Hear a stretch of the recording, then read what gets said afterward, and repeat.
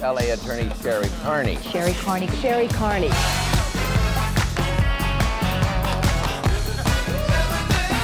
Now, Shari, tell us a little bit about this bill that you've introduced or you pushed through here in California. Shari Karney, whose real life crusade to change child abuse laws. Do you think it's okay to hit a woman? No, Okay, then why did you hit her? I didn't hit her.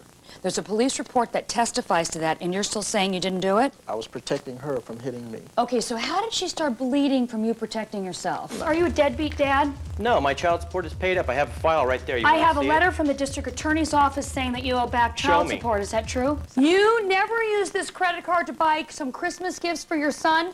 No, I Yes didn't. or no? No, I did not use the credit card. No, you didn't use it. Was your sister there when you made the charges on the no, credit card? No, my sister was not Yes there. Yes or no? No, she No. All wasn't. right, line number three, here comes the question. Objection. And um, where are your parents buried, if I may ask? Uh, I told her that they were there, and she had no problem with that.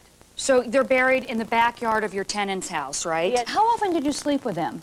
Maybe once or twice a month at the most. And how was it? I'm sorry. No, Yes, no, ma'am. no. a I question, think, please. I think it's relevant. Let You're me tell you, if she uh, was let me- sexually let me gratified? tell you why I think it's relevant. Because their argument is that she's a jilted woman who's just out for revenge. Well, if this guy's no good in the sack, maybe she's me have a just as well sidebar. without him. Oh, Objection sustained. God. I don't want you throwing a pencil at me or anybody in the courtroom. It's fine.